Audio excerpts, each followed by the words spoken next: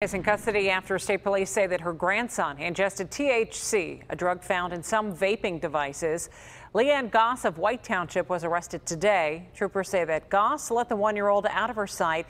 Then they say he was able to grab a vaping pen and ingest what was inside. The boy is being treated and is expected to be okay.